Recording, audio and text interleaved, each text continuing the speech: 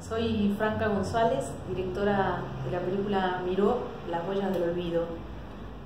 Un largometraje documental que me llevó tres años y medio poder realizar y en, al norte de La Pampa, en un lugar donde existe una especie de pequeña Pompeya, un pueblo que quedó enterrado bajo, plantaciones de soja y que de golpe empezó a querer, querer por su propia cuenta intentar salir a la luz.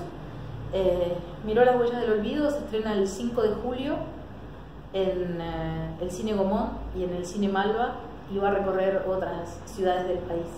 Me encantaría que me acompañaran porque para mí la película solo se completa cuando tengo la devolución de los espectadores. Los necesito, así que por favor vengan al cine.